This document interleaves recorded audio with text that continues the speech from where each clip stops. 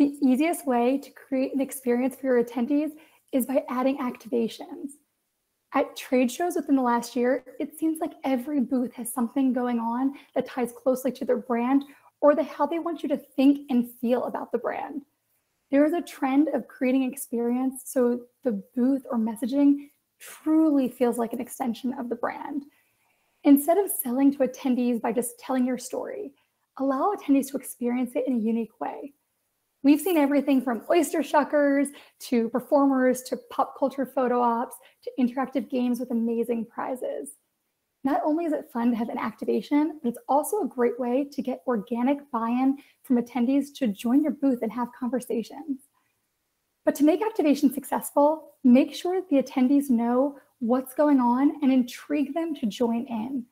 Allow the activation to be a fun way to bring them onto your booth to further engage with them during the event. Be clear with the feeling that you're trying to get across and make sure that your audience can feel it when they step into your booth or when they attend your event.